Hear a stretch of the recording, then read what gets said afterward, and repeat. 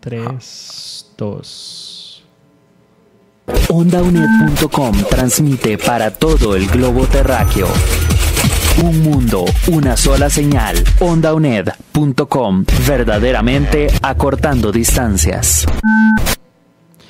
Bueno, iniciamos este siguiente episodio de la transmisión que está realizando Onda UNED en estas terceras jornadas emprendedoras de la UNED, eh, realizadas precisamente por la eh, Escuela de Ciencias de la Administración, la ECA. Y hablamos de con don Roy Campos, él es autor de este libro, Integridad 24-7 cómo liderar siempre. Y Roy, que le dije don y me había dicho que no. No, no, no. Roy, contanos un poco eh, acerca de eh, este tema de los millennials, que es tan interesante. Eh, los millennials son los que, o muchos de los que están realizando emprendimientos ahora, y tienen una diferenciación muy grande con el resto de las generaciones que los preceden. Este, contanos un poco de cuáles son esas perspectivas que has tenido con, los, con los estudiantes, los millennials más bien, este, y su forma de emprender.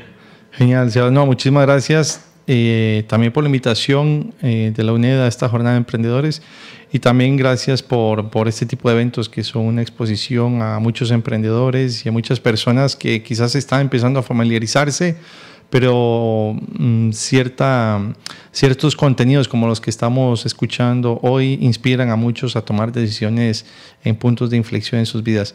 A ver, aquí la pregunta es cómo se vincula la integridad con el emprendimiento, la ética con el emprendedor, porque es como un tema un poco amplio o difícil de conectar.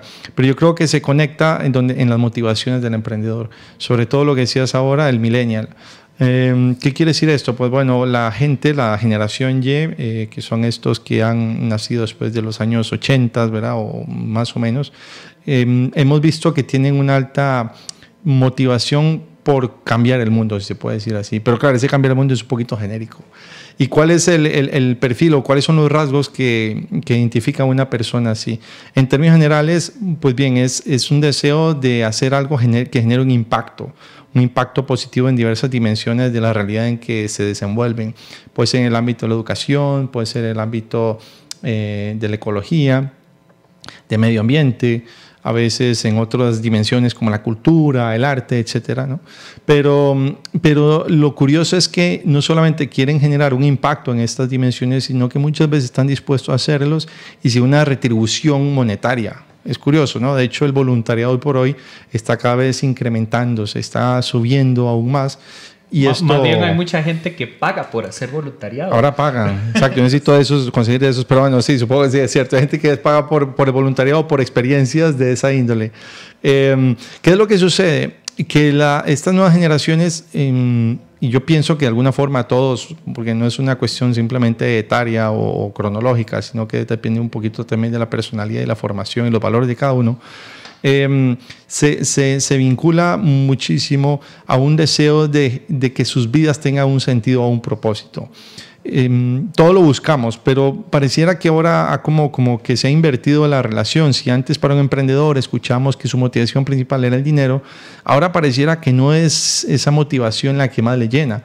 De hecho, vemos muchos jóvenes recién graduados, muy bien capacitados, que no incursionan en el mercado laboral aún en un país eh, como Costa Rica donde hay muchas multinacionales. De hecho, hay una demanda insatisfecha y uno puede pensar, bueno, ¿por qué es que no aceptan esas, esas, esas propuestas laborales? Algunos dirán, ¿verdad? Bueno, se debe a que no hay suficiente mano de obra, no hay una um, oferta apropiada. Pero también es cierto que muchas personas teniendo la posibilidad de trabajar allí, incluso el perfil, no lo hacen porque no quieren, porque no quieren darle su vida a una organización multinacional que se está enriqueciendo gracias al esfuerzo que hacen ellos y, que es una organización que quizás no busca un balance en sus vidas, en, el sentido de que no, no respeta tanto ese equilibrio entre el trabajo, la salud, los amigos, no les da tanta flexibilidad, no les eh, otorga como ese espacio para la colaboración, para el darse a otros.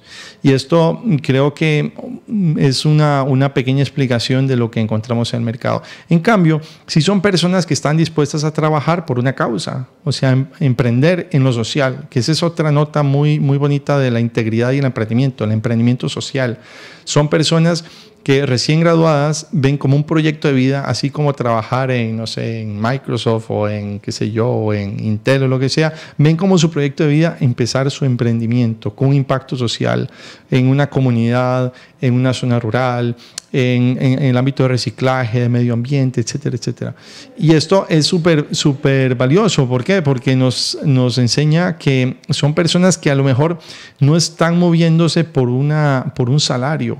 Y los papás a veces dicen, este hay que vivir, me explico. Es como el que antes estudiaba música, este hay que vivir, o el que estudiaba arte, y este que es un hippie, un bohemio. Bueno, pues este es como los nuevos bohemios, los nuevos, los nuevos hippies, digámoslo así, del emprendimiento son los sociales. O sea, son estos que quieren decir, bueno, yo quiero resolver una problemática actual y con un modelo que además de sea escalable, replicable y sostenible, ¿ya? Y después busco de rentabilidad, pero antes busco la causa, después busco de rentabilidad. Y esa inversión, digámoslo así, eh, eh, eh, donde se invierten esos componentes, es donde encontramos ahora un, un, un, así, un fuerte, digámoslo así, una fuerte aspiración a la ética, ¿sí? Porque Vamos a ver, muchas organizaciones, ahorita que hablamos del voluntariado, se sostienen con voluntariado. Por ejemplo, Techo, Techo, que es una organización que ha expandido ya, eh, roto, gran, digamos así, los récords de, voluntariado. En Costa Rica, solamente en Costa Rica tiene 7.800 voluntarios al año. ¿Y, ¿Y, cómo podríamos pensar, digamos, que una empresa, ya sea transnacional, nacional, responda a esto. O sea, porque muchas veces eh, el discurso que se impone es, ah, es que la gente tiene que adaptarse a las empresas. ¿No será que también las empresas tienen que adaptarse a la gente? Sí, creo que van ambos sentidos. Hay empresas, por ejemplo, que tratan de dar un poquito más de flexibilidad, pero muchas veces esa flexibilidad es algo cosmético. Eh, ¿Aquí quiero decir con esto? Bueno, que los espacios de trabajo son como más bonitos, te pone un futbolín, o sea, te ponen ya no cubículos, sino espacios más abiertos, en apariencia más colaborativos. Incluso hay empresas que, bueno, que ya empiezan a medir su huella de carbono y tal, ¿no? Pero esto a veces en el mundo de, de los negocios se llama la greenwashing, es decir, como este, mm, mm, verdes por fuera, pero por dentro, o sea, realmente es como... como se mantiene el mismo perfil. Exactamente, es como algo fake, algo ahí, como algo, eh, eh, digamos así, en apariencia nada más, o ficticio. Y, entonces encontramos que empresas que en teoría tratan de convertir sus espacios de trabajo en ambientes colaborativos, siguen con una cultura de trabajo hostil, hostigante, rígida, anticuada. Bien, y esto es una llamada de atención para todas las empresas y sobre todo para gente de recursos humanos. Desde luego que hay otra contraparte, que es eh, la, gente que está entrando a esas empresas.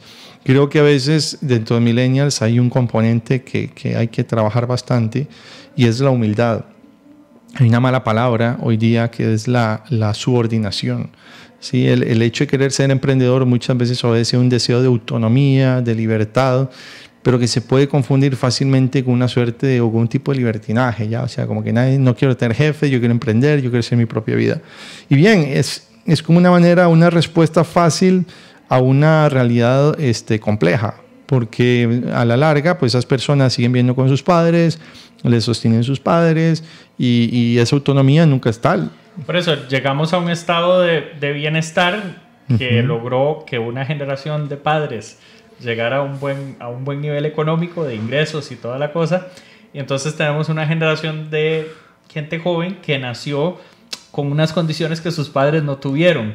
Pero entonces, ¿cómo, ¿cómo hacemos eso para sostener esto hasta la siguiente generación, tal vez? Sí, sí, yo creo que estamos, digo, parece que estamos llevando esta conversación por un, por un péndulo, porque nos hemos puesto desde la parte romántica de la generación Y o los millennials hasta el lado un poquito más oscuro, ¿no? O sea, que es el que llega a su casa, no tiene nada que hacer, o bueno, ya que tengo carro, pues bueno, me dedico a ser el chofer y ya está, o sea, y estudio y ya veré qué, qué viene después.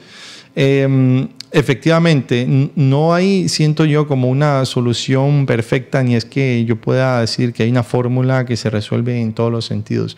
Pero es ahí donde yo veo que la integridad cobra sentido, porque, porque la, la ética no es como una receta, es algo que depende mucho de las circunstancias y está muy, muy vinculada al criterio que cada uno vaya desarrollando según los valores de su familia.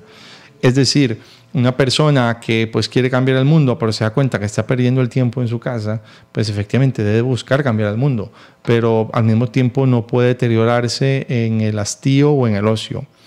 Yo lo que le aconsejo a los emprendedores que quieren hacer algo desde sus inicios es, bueno, muy bien, está bien idear, modelar negocios, pero muchas veces el emprendedor maduro es el que tiene más éxito. ¿Qué quiere decir con esto? Una persona que ha tenido una experiencia laboral, que ha tenido un jefe, que sabe cómo trabajar, porque cuando uno sale de la universidad no sabe administrar siempre sus prioridades, manejar su tiempo, gestionar contactos, mientras que una persona que ya ha trabajado, tiene esa escuela, tiene un, un área networking, y además de eso ya tiene un cierto capital e incluso un historial crediticio que le permite apalancarse o asociarse con otras personas en un área de expertise. O sea, si una persona ha trabajado en tecnología, con una empresa de tecnología, pues a lo mejor si tiene una inquietud social puede hacer un startup tecnológico, pero que también tenga un impacto social. Me explico. Entonces, yo creo que es ahí donde también cada uno tiene que ser honesto consigo mismo, honesto con sus valores, eh, con su familia y también con su vocación emprendedora, porque hablar de que quiero cambiar el mundo y quiero ser emprendedor sin aterrizar eso a mi realidad concreta, o sea, no, para mí no es íntegro, no es íntegra esa persona, ¿sí? Porque, porque la integridad es actuar rectamente en cualquier circunstancia y lo que no es correcto es eh, usar o abusar de, de, mi, de mi, o sea, ¿cómo decirlo?, de mi vocación, de mi deseo de hacer las cosas y de cambiar la realidad, pero resulta que en el día a día el que está cambiando y para mal soy yo, porque estoy en estado de, de, de, abandono, de dejadez o incluso de mediocridad. Tal vez eh, para ir cerrando en un minuto más o menos, eh, ¿qué le recomienda a usted al, al o, o a la joven que nos está viendo en este momento, quiere emprender? No le llama mucho la atención este tema de las, de las, de las transnacionales o de este tipo de trabajos y sí quiere hacer un cambio, pero eh, ¿qué recomendaciones para que realmente eso, ese, ese impulso tan bonito vaya bien encaminado, digamos? Sí, yo, yo creo que... Mm, una multinacional lo ponía yo como un ejemplo porque es algo que está un poquito de moda, pero yo creo que la gente joven que está saliendo de la universidad o que está cursando estudios universitarios y va a empezar a trabajar, tiene que aprender a escoger a sus jefes, a sus patronos, al espacio donde va a trabajar. Si nosotros escogemos bien a nuestras organizaciones, creo que vamos a poder hacer una elección inteligente a largo plazo. Ayer hablaba con una alumna mía de la Universidad de Costa Rica donde ella me decía, bueno, no sé si trabajar en una multinacional, que es muy buena en estrategia, o trabajar en un startup tico. Y yo le dije, bueno, me llama la atención tu, tu, tu, tu, inquietud, porque es una inquietud muy madura. O sea, mucha gente desearía trabajar en una multinacional de estrategia que te va a poner a viajar a Europa. Tengo un amigo que trabaja en esa misma multinacional y viene llegando de, de la India esta semana. Pues bien, ella está haciendo una decisión o tomando una decisión reflexiva. Y creo que eso es lo que mueve a una persona. O sea, para aprender a emprender, muchas veces lo hacemos dentro de un contexto profesional, laboral, ¿sí? de una relación eh, patrono-empleado. Eh, y es una buena escuela eso es compatible, totalmente compatible con el emprendimiento. Con lo cual, si no te gusta una multinacional, pues va a ver una local, si no, de un pariente. Lo que no es lógico es que no me guste nada, porque si no me gusta nada, el problema no es de mercado, el problema es mío.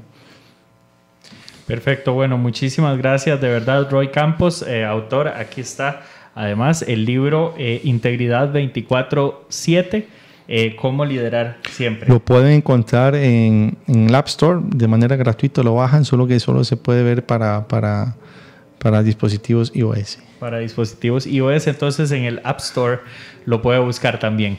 Así que de verdad, muchísimas gracias. Gracias a ustedes. Y te agradecemos también a vos que estás en sintonía de Onda UNED.